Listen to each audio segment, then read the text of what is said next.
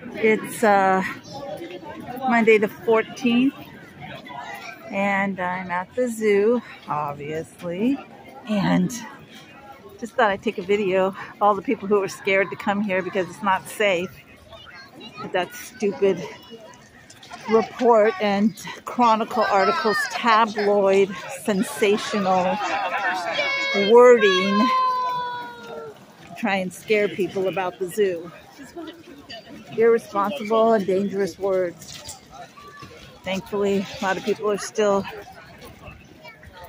not affected by that.